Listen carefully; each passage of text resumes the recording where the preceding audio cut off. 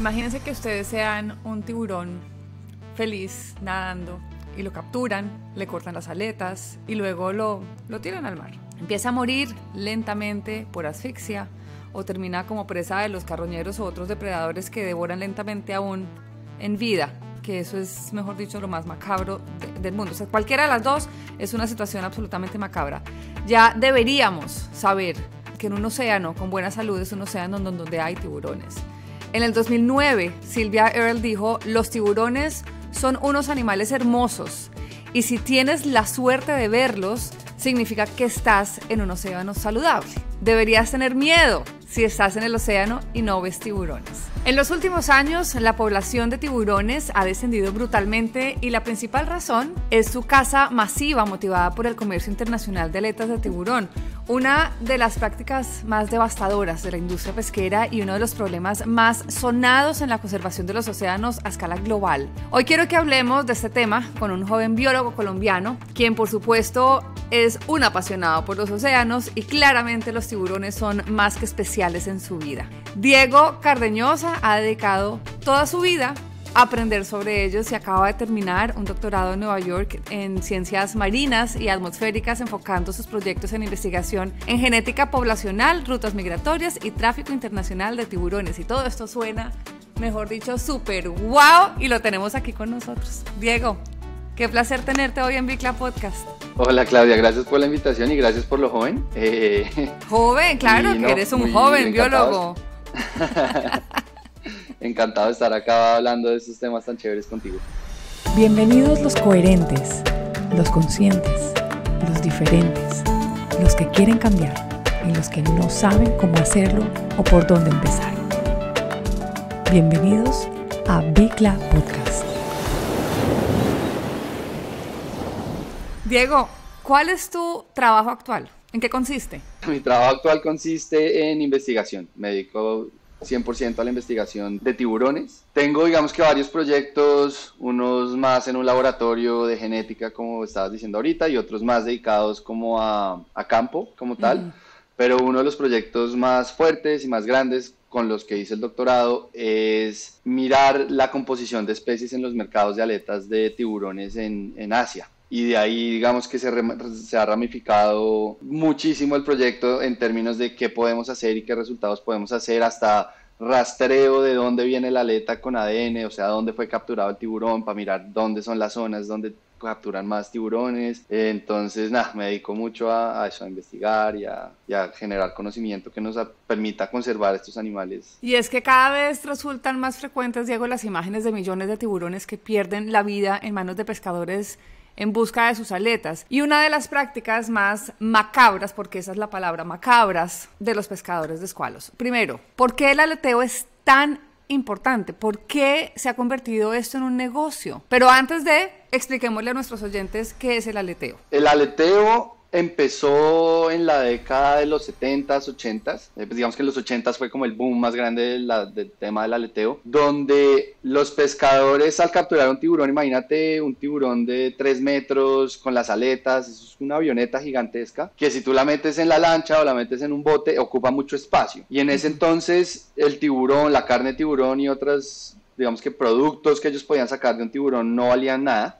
la verdad, valían muy poco y las aletas valían mucho. Entonces, la forma de ellos de maximizar sus ganancias era cortar las aletas y llenar el barco solo de aletas, que era, digamos que así podían maximizar el espacio dentro del bote y maximizar las ganancias. Entonces esa digamos que es la razón de la práctica del aleteo, maximizar las ganancias que se puedan hacer en un solo viaje capturando tiburones y con aletas es la forma más fácil de hacerlo. En la década de los 90 comenzaron a prohibir ese tipo de prácticas muchos países diciendo que los tiburones tenían que llegar con las aletas naturalmente atadas al cuerpo, o sea, prohibir el aleteo. Muchos de los países que capturan tiburones en su mayoría, o en, grandes, grandes volúmenes, lo han implementado de cierta forma bien, o sea, ya no se ven tantos tiburones aleteados o no se ven tantas aletas llegando a los puertos sin el cuerpo del tiburón, pero haber, digamos que disminuido esa práctica, que hoy en día sigue ocurriendo, pero no es, ya no es el problema que existía en los 90, el aleteo como tal, pero haber disminuido el aleteo no significó una reducción significativa de la mortalidad de los tiburones. Entonces, al prohibir el aleteo, los pescadores estaban forzados a traer el tiburón entero al puerto. Y entonces, ¿qué hacer ahora con ese tiburón de 3 metros y toda esa carne, pues, que, queda ahí guardada? Que aclaramos que es igual de grave, ¿no? O sea, no porque sea el tiburón completo o solamente las aletas es igual de grave. O sea, se muere el tiburón. Continúa. Sí, igual el tiburón sigue muerto, exacto. Entonces, simplemente la práctica que es muy cruel, porque es capturar el tiburón vivo o muerto, muchas veces vivo, lo suben a bordo, le cortan las aletas y lo devuelven al mar sin aletas y el tiburón muere ahogado, desangrado, pues por, porque no puede nadar y ellos necesitan nadar para, para respirar y pues para vivir. Entonces, aunque esa crueldad ya se disminuyó, realmente el problema de conservación no se, no se mejoró, no, no hubo digamos que una mejoría porque la cantidad de tiburones que se siguen matando sigue siendo la misma que antes. Entonces, eso también creó un mercado internacional de carne de tiburón, que eso no, hoy en día no se habla mucho de eso porque todavía tenemos esas imágenes muy fuertes en, el, nuestro cerebro a los que nos gusta el mar, de esas prácticas muy fuertes del aleteo, pero realmente el comercio de carne de tiburón es un problema igual que el de las aletas. ¿Por qué? Un kilo de aleta son, no sé, cuatro aletas de un tiburón puede ser un kilo, cuesta mucho dinero, pero el tiburón es el 95% del peso del tiburón es la carne y el resto del cuerpo. Y cuando miras la cantidad monetaria que se mueve de carne de tiburón a nivel internacional y de aletas de tiburón, los valores son los mismos. Los volúmenes de carne son mucho más altos que de aletas, pero los valores en términos de dólares son exactamente iguales en este momento. Y en los últimos años la carne de tiburón o el comercio de carne de tiburón ha aumentado o ha sobrepasado el de aletas de tiburón. Entonces hay una demanda de, de proteína, digamos, relativamente barata en el mundo, donde Europa y Sudamérica son los principales consumidores de carne de tiburón, lo cual le falta mucha exposición a ese problema realmente. Y las aletas, por lo general, van al sudeste asiático, especialmente a Hong Kong y a China, que son los consumidores principales de aleta de tiburón. Óyeme, mientras estás hablando me acordaba de una vez, voy a contar una historia de las tantas macabras que vamos a hablar hoy que dijiste que Europa, yo estuve en Europa hace, ponle, unos 10 años y llegué a un restaurante y me dijeron, era un restaurante súper elegante, con dos estrellas Michelin. Y yo dije, bueno, ¿yo qué voy a comer acá? Porque el menú, pues es menú, ¿sabes? Como esos menús que tú no tienes opción. Y me dicen, acá el plato principal es eh, la sopa de aleta de tiburón. Yo ni siquiera sabía de eso. Yo no entendía cuando me dijeron, yo dije, ¿cómo así que sopa de aleta de tiburón? Por un momento pensé, así les llaman a la sopa. Entonces digo, ¿qué tiene la sopa? Ah. yo pregunté, ¿qué tiene la sopa? Y me dice, aleta de tiburón. Yo le dije, no, a mí no me la traigas. Pero ¿cómo no te la vas a comer? Si es un delicatessen, es, es, es, una exquisitez, es que, mejor dicho, es lo más elegante que te puedes comer. Y yo quedé realmente traumatizada. Evidentemente, no me la, no la pedí, pedí que no me la trajeran en el menú, pero siempre me quedé pensando, ¿qué la, qué la era especial? ¿Por qué es tan cara además? ¿Por qué es carísima? ¿Por qué el sabor se supone que es uno de los sabores umami que hay en el mundo. Y te pregunto, si sabes, obviamente no, no, tienes, por qué, no tienes por qué responderme si no, si no es de tu conocimiento y está bien. ¿Por qué el sabor de la aleta del tiburón lo hace tan especial y hace que sea tan costoso? ¿Es simplemente por eso que me estabas contando de que cuesta mucho eh, vender la aleta y lo vuelve caro en un restaurante o porque realmente se ha encontrado que a nivel gastronómico hay algo especial dentro de la aleta de tiburón? La respuesta corta es ninguna de las anteriores. Gracias. Realmente es porque eh, hace milenios pues atrás el emperador chino, por algún motivo, sí, no sé cómo es la generación del plato, pero era el plato del emperador, era un plato insignia del emperador y podría apostar que es por eh, lo que significa el tiburón, ¿no? El tiburón es un, un, animal poderoso, un animal imponente, entonces pues me imagino que comerse a ese animal tiene algún, o tenía algún significado pues de poder, etcétera no tiene pues, ningún significado, señores. No tiene ningún significado. Para que no, se me vayan de acá diciendo. No, porque yo no quiero que se me vayan de acá ahorita diciendo, ah, Claudia dijo que no. O sea, no, no, se tomen una sopa de aleta tiburón. Gracias, esto era solamente una pregunta. Pero en China, eh, en China sí tiene ese significado. no, en China tiene ese significado realmente. Entonces, cuando era un, un plato muy exclusivo del emperador y con el milagro económico chino, pues mucha gente comenzó a tener muchos ingresos y querían como aumentar su estatus económico realmente, como acá en nuestros países, no sé, un diamante, una cadena de oro, un carro lujoso o el caviar también en, en, países digamos que europeos o algo así. Pero entonces en China, darle a tus invitados en tu boda o en un banquete muy especial familiar sopa de aleta de tiburón es un símbolo de estatus económico Es realmente ese es el, el centro del problema, el estatus económico, porque el caldo con el que se hace la sopa de aleta es un caldo a base de pollo, de cerdo, de res, con especias chinas y otro tipo de cosas, pero la aleta no le produce ningún sabor y ningún valor nutricional a la, a la sopa. O sea, de ese mito que dicen que es que la sopa es afrodisíaca, no.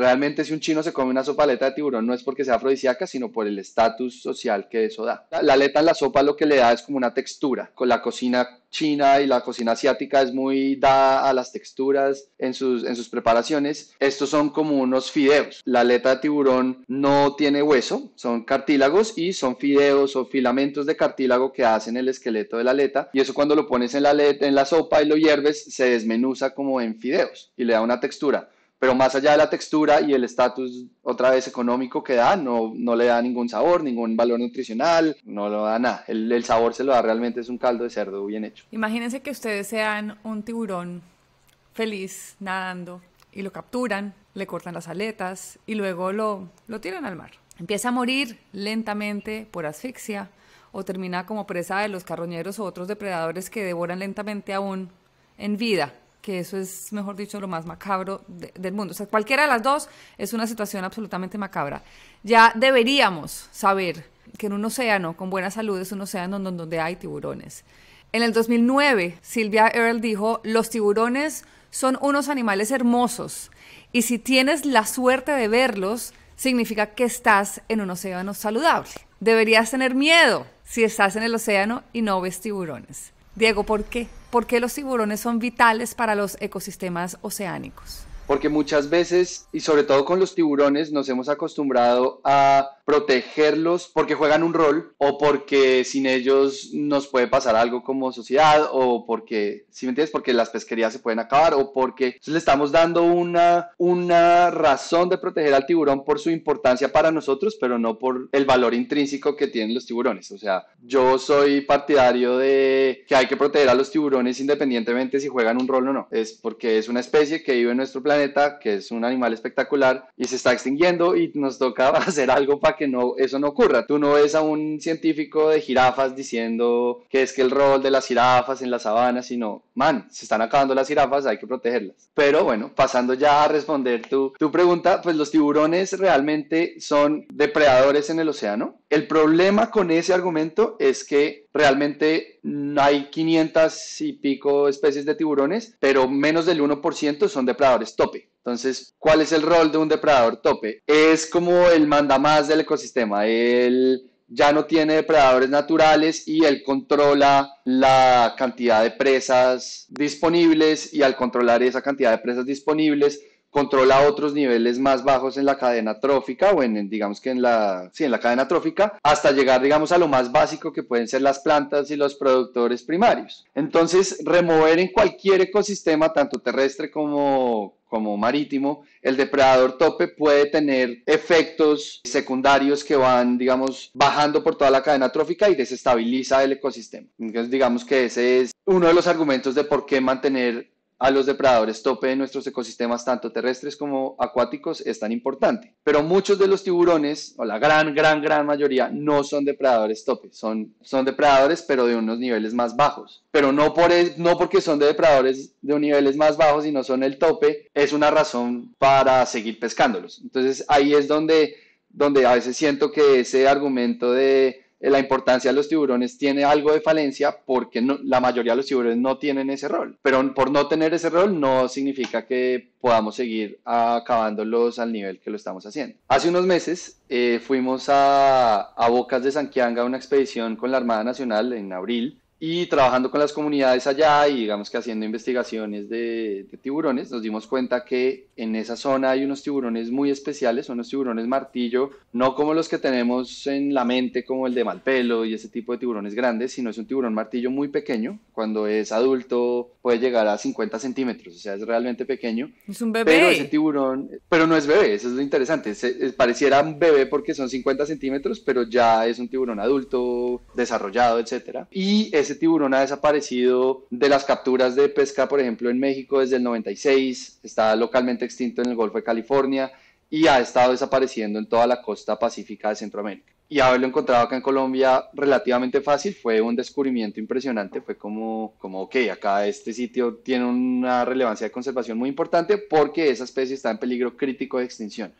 En las categorías de la IUCN, Unión Internacional para la Conservación de la Naturaleza, que son los que dicen cómo están las especies en su estado de conservación, la siguiente categoría después de peligro crítico es extinto ese animal está realmente al borde de la extinción y haberlo encontrado ahí es muy importante. Es de resaltar porque ese tiburón, por lo pequeño, realmente no cumple un papel en el ecosistema así pues el más importante el rol del depredador. O sea, no tiene el nivel el nivel eh, arriba de la cadena trófica. Sí, es bastante más abajo, bastante más abajo, pero ya se va a extinguir. Entonces, si basamos la conservación en la importancia de los tiburones en el rol de los ecosistemas, ese tiburón lo estaríamos, como la, la, la no suerte de ese tiburón la estaríamos dejando a la deriva, a esperar qué pasa. Entonces, ¿por qué hay que proteger ese tiburón? Porque es un animal que se va a extinguir y no tiene ninguna razón para extinguirse a punta de las actividades humanas. No es éticamente correcto pensar que podemos extinguir un animal simplemente por nuestras actividades. Entonces,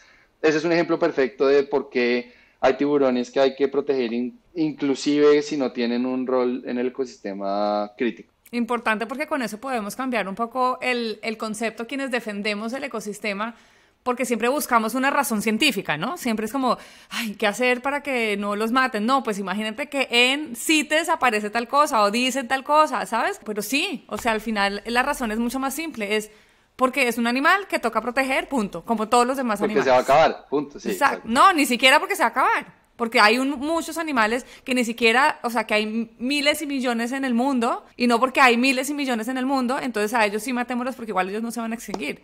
O sea, es ah, porque es un animal y, y, ya, y hay que protegerlo, punto. Miren, para conocimiento de nuestros oyentes, actualmente 12 especies de tiburones están incluidas en CITES, justamente que estábamos hablando ahorita. Convención sobre el Comercio Internacional de Especies Amenazadas de Flora y Fauna Silvestre. ¿Qué significa esto?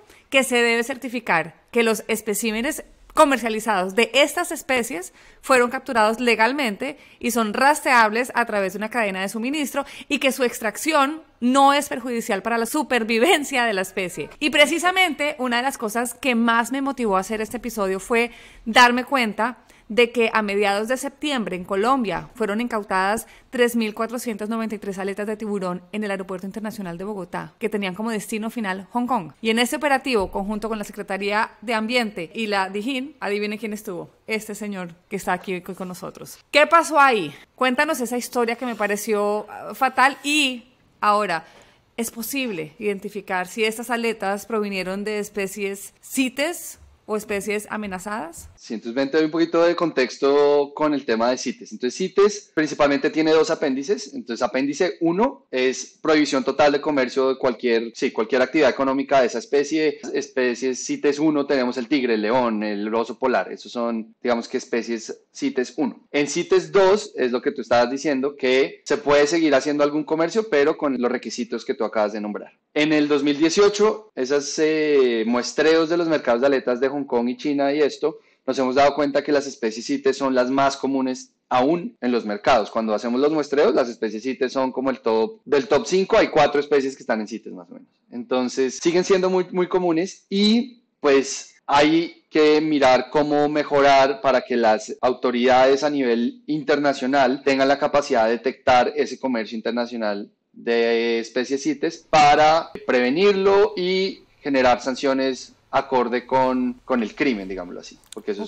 hacer eso ilegalmente es un crimen. Entonces en Colombia es prohibido la comercialización de aletas de tiburón, pero llegaron al aeropuerto en un cargamento que también llevaba vejigas natatorias a Hong Kong y cuando las comenzaron a pasar por los rayos X se dieron cuenta que pasaban unas cosas que se veían como vejigas natatorias, pero después pasaban unos sacos que no tenían nada que ver con lo que había pasado anteriormente. Los abrieron y salió algo como una aleta, ellos realmente no sabían si era aleta de tiburón o no, contactaron a, a la DIJÍN y la DIJÍN dijo, esos son aletas de tiburón, hay que pararlo, porque además no lo habían declarado. Y esas aletas, además de que eran prohibidas la comercialización, venían procesadas. Eso significa que les quitan todo lo que es la, la musculatura, le quitan la piel, le quitan todo y queda como el esqueleto de la aleta. Como secas. Pero, como secas, pero con fideos. Imagínate los fideos duros haciendo la forma de la aleta, pero sin ningún color, sin ningún... Nada que te pueda permitir a ti mirar la aleta y decir esto es de una especie CITES, porque muchas de las, o todas las especies CITES, para el ojo entrenado, uno puede decir eso es un tiburón martillo, eso es un tiburón sedoso, eso es un tiburón zorro, eso es un tiburón maco, solo mirando las aletas, porque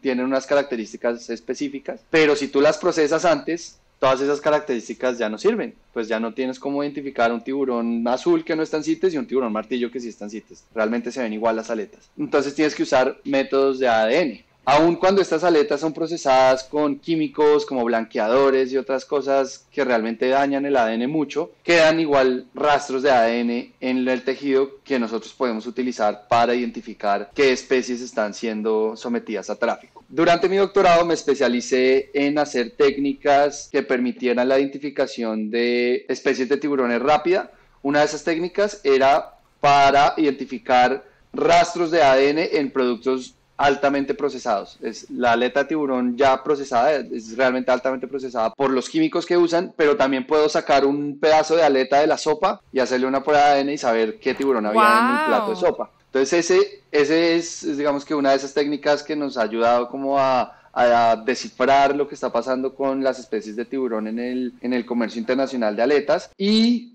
también desarrollamos una que es muy rápida, que la estamos tratando de implementar en Colombia, ya la estamos implementando en Perú, en Hong Kong, en Belice, próximamente en Panamá, en Ecuador, bueno, en otros países, donde es una prueba, imagínate un laboratorio portátil de ADN donde los agentes del orden, pues en cualquier lugar del mundo pueden tomar una muestra, usar la máquina ahí en el sitio de la inspección y que les diga en tiempo real si es una especie CITES o no y cuál es esa especie CITES. Es de bajo costo, un dólar por muestra de principio a fin el análisis, bueno, es realmente muy, muy amigable con el usuario y, con el bolsillo pues, de, los, de los gobiernos para poder implementarlo. Y en este caso utilizamos la primera que te conté, la de identificar productos altamente procesados, porque las aletas estaban, digamos que en, en, un, en un estado de deterioro y en este momento nos estamos dedicando a eso, mirar qué especies hay. Aún no tenemos el resultado. Próximamente tendremos como una idea de qué especies estaban siendo comercializadas o, traficadas, realmente porque era ilegal, en ese cargamento. Yo tengo la sospecha de que si eran algunas y la gran mayoría eran especies CITES, porque cuando tú miras los desembarcos de tiburones en nuestra región, la mayoría son tiburones zorro, tiburón sedoso, tiburón martillo. Las tres son CITES, las tres están en categorías de amenaza según la IUCN y sospecho que la gran mayoría de esas aletas van a ser de, de animales CITES. La verdad es que fue muy desgarrador pensar que entre 900 y 1000 tiburones fueron sacrificados para extraer estas 3.493 aletas. No hay discusión de que, de que esas imágenes que nos mostraste a través de tus redes sociales y que en Bicla compartimos, pues son difíciles de digerir, pero de alguna manera muestran la realidad de la sorprendente escala en la que opera el comercio de este tipo de, aletas. El problema de esas imágenes que tuvimos en Colombia, si eran 3.000 aletas, pero cuando vamos a hacer inspecciones del mismo, de la misma naturaleza, digámoslo así, en Perú o en Hong Kong son un container de 14 toneladas llenos de aletas. No son 3.000, sino son cientos de miles, cientos de miles de aletas en un solo container. Entonces, para Colombia, que no es un país productor de tiburones o que captura muchos tiburones y los comercializa, esta cantidad pues será significativa, pero en Hong Kong eso es pues la puerta del contenedor. De ahí para adelante... Sí Sí, eso no es nada, nada. Bueno, pero para nosotros es mucho y espero que para el mundo siga siendo mucho, porque es que son mil tiburones, es que son tres mil, casi tres mil quinientas aletas de tiburón. Y es que estas cifras muestran que el estado actual de la población de tiburones en todo el mundo pues es realmente alarmante. Según las investigaciones más recientes de la Unión Internacional para la Conservación de la Naturaleza, la UICN, de la cual Diego nos ha hablado varias veces aquí en este podcast, un tercio de las especies oceánicas de tiburones se encuentra en la actualidad bajo amenaza de extinción, lo que en gran medida se debe a esto, al aleteo de tiburones. Mira, quiero que nos metamos en, en ondas pesadas. Hablemos de leyes. Es un tema de cuidado, pero el aleteo en Colombia realmente ocurre, pero no ocurre en las proporciones que ocurría antes. Pero tú vas a las costas del país y sigues viendo animales capturados, lo que hablábamos antes. Aunque el aleteo se acabe y ya no haya absolutamente nada de aleteo en el mundo, no vas a solucionar realmente mucho porque los tiburones siguen siendo capturados. Entonces el problema va mucho más allá del aleteo. Y en estos últimos años en Colombia ha habido varios intentos de leyes y de, de medidas. Una de esas hace unos años era generar cuotas, ¿no? Cuotas de captura, cuotas de, exportación de aletas de ciertas especies y unas, sí, unas cuotas. Y hubo mucho rechazo del público general contra eso porque se pensó que se le estaba dando el permiso a los pescadores de capturar tiburones en Colombia. El problema es que ese nunca ha sido el caso. Un pescador en Colombia siempre ha podido capturar tiburones. Entonces, al generar una cuota, lo que tú le estás diciendo al pescador es que acá hay un techo. Puede ser un techo alto, muy alto, pero hay un techo específico que usted puede capturar o puede comercializar o puede hacer algo con esta especie. Sin una cuota y sin una prohibición de captura, digámoslo así, lo que haces es volarte el techo y lo que realmente eso significa es que no existe un techo, no hay un límite, ¿sí me entiendes? Entonces, si no pones una cuota en un país donde es permitido capturar tiburones, lo que estás haciendo es se pueden capturar una cantidad infinita de tiburones y no va a pasar nada. Entonces ahí fue donde creo que no se manejó bien el tema de la cuota. Porque además, ¿quién va a, certificar que la cuota se haya cumplido o no? eso, eso es un tema, el tema digamos que el cumplimiento de la ley pero tener una cuota siempre es mejor que no tenerla.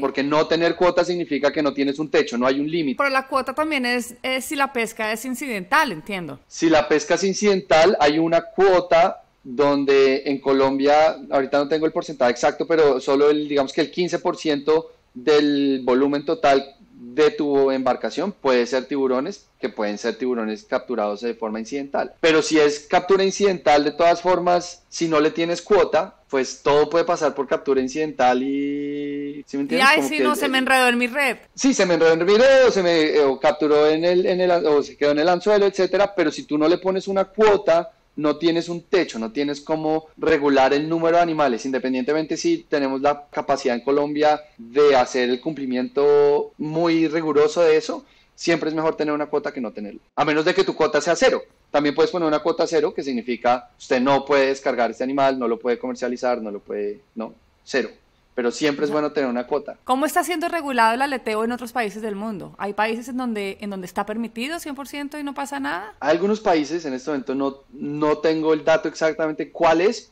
porque es que la gran mayoría de, países, el más del 90% de los países, se prohíbe el aleteo. Tú cuando vas a Indonesia, que es el, el país que más captura tiburones en volumen en el mundo, tú ves a los tiburones completos en el, en el puerto, pero pues eso no es aleteo, pero la pesquería de tiburones no sostenible sigue ocurriendo, ¿sí me entiendes?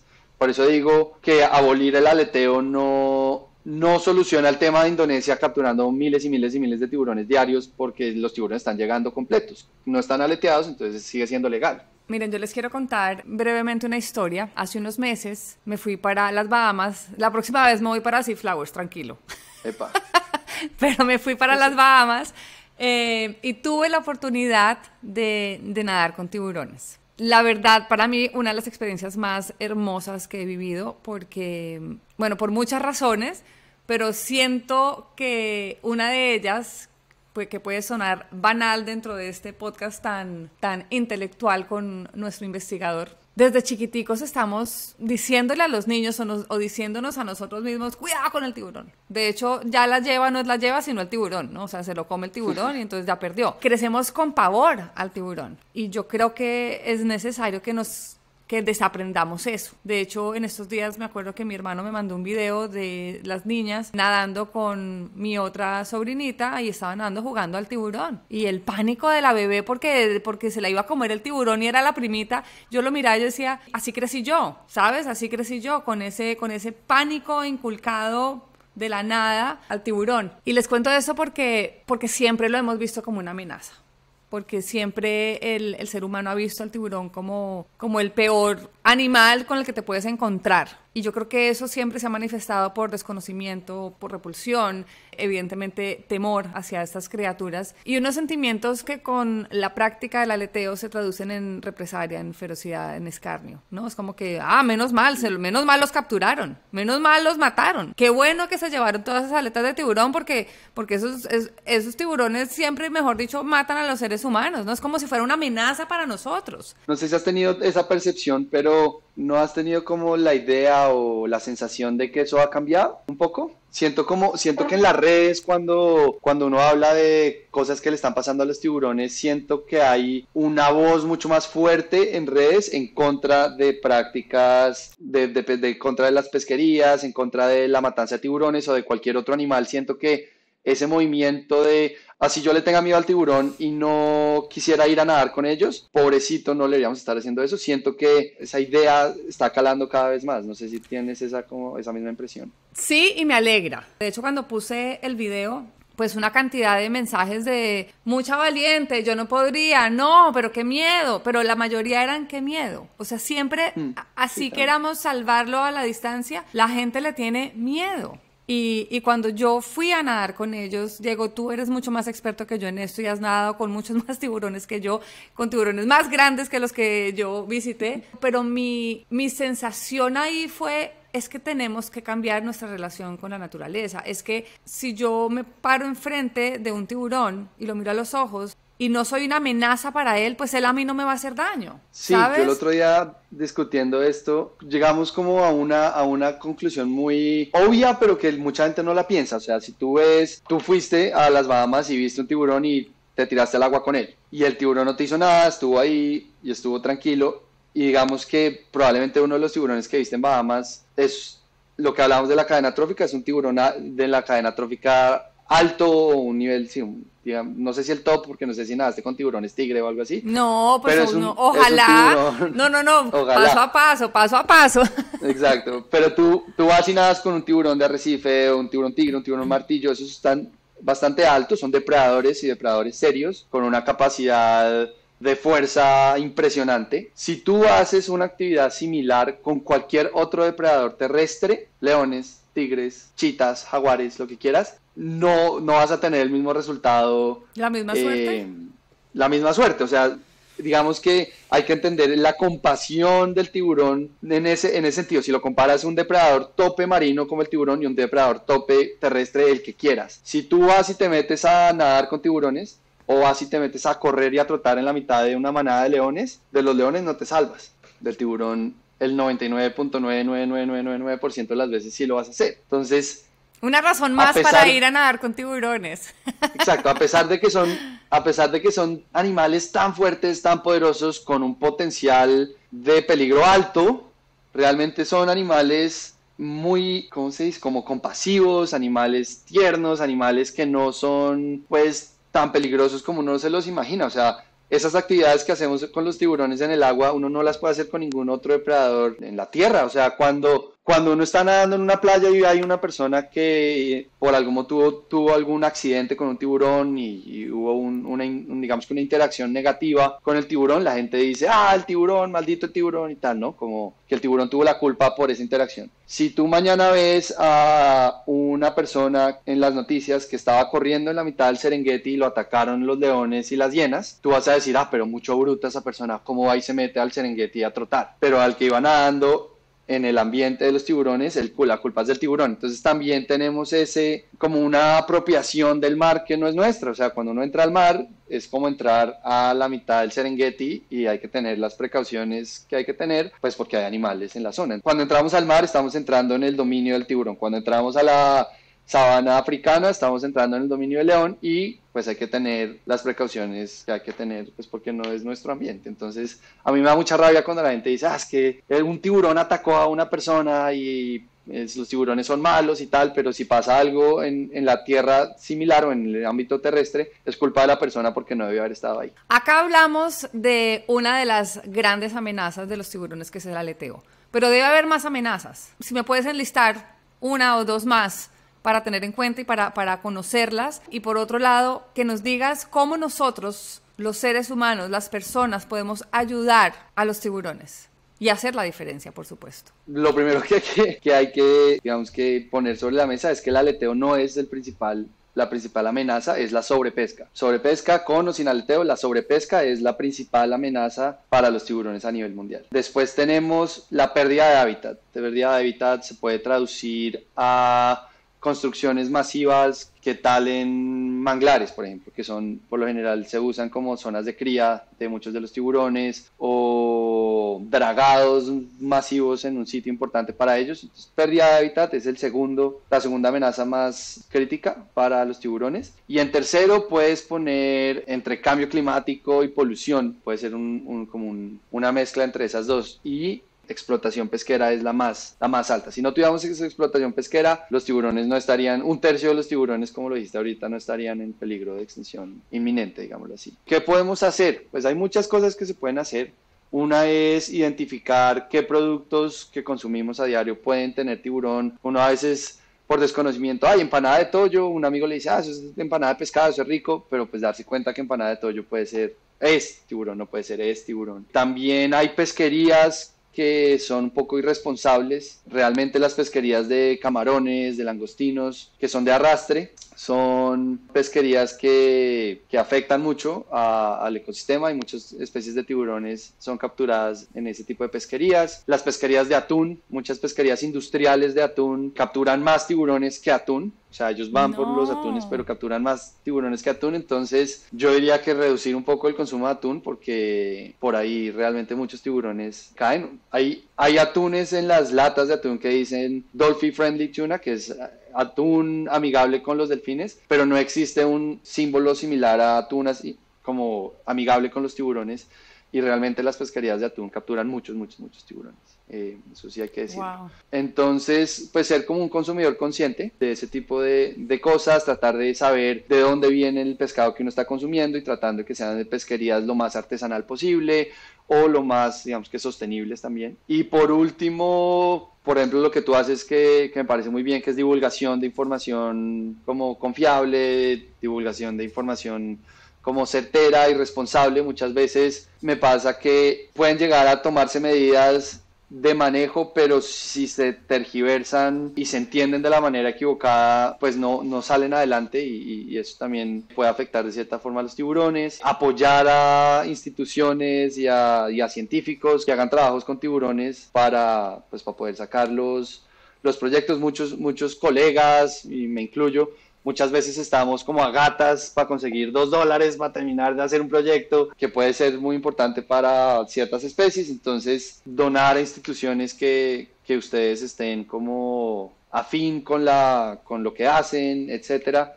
ayuda mucho a que, a que personas ambientalistas, ecólogos, científicos, eh, conservacionistas puedan ir a, hacer un cambio en el, lugar de, la acción, digámoslo así. Diego, una palabra que define la naturaleza. Uf, majestuosidad. Un lugar en donde fuiste muy feliz. Mal pelo. Yo quiero ir. ¿Cuál es tu héroe ambientalista? Yo creo que ya Cousteau nos enseñó mucho. Un deseo para el planeta. Larga vida. Un don de la naturaleza que te gustaría tener. Resiliencia. Un hábito que cambiarías en ti para dejar un mejor planeta. Consumo. ¿Qué hábito ya cambiaste y del cual te sientas orgulloso? Uf, reduje mi consumo de carne roja un montón.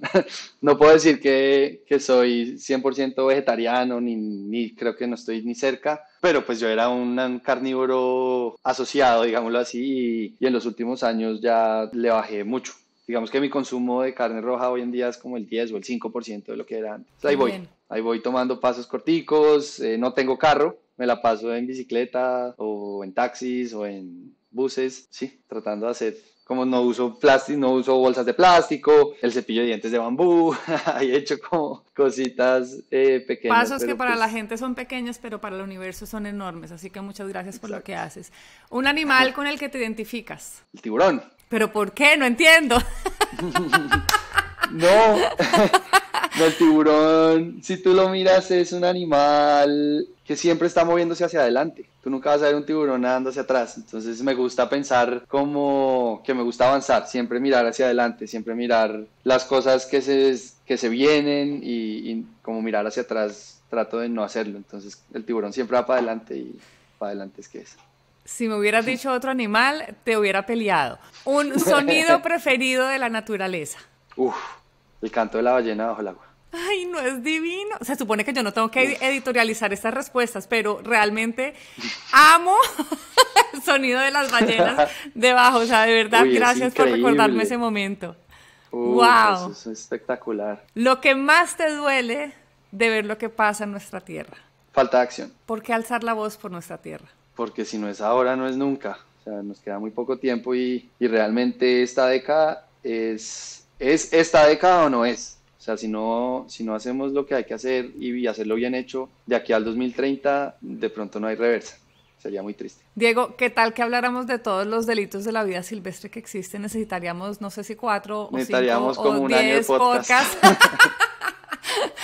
Pero de verdad, por lo pronto, este espacio ha sido un placer compartirlo contigo. Gracias por hablarnos con tanto amor y con tanta pasión y con tanto conocimiento, porque has estado toda tu vida estudiando por ello, acerca de los tiburones y de sus amenazas. Nos quedan temas, por supuesto, por hablar, porque, Claro porque sí. hablar de los tiburones son, es, es, es inagotable, o sea, es un tema de, de no acabar nunca, pero espero que hayan entendido un poquitito la importancia del tiburón. Y, y gracias, Diego, por acompañarnos hoy. No, gracias por tremenda invitación. Un honor.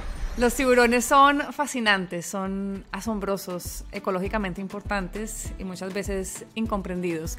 Desafortunadamente también están amenazados y hoy aprendimos que el aleteo es una de tantas amenazas. No olviden que no debemos temer ver tiburones en el mar. Nos tiene que aterrorizar no volvernos a encontrarnos con ellos. Si hay tiburones en el ecosistema, está sano. Y así nos despedimos de este episodio de Bicla Podcast, intentando ayudarte a que conozcas un poco más de cerca la naturaleza, a que la ames más, a que la respetes más a que nos ayudes a conservarla.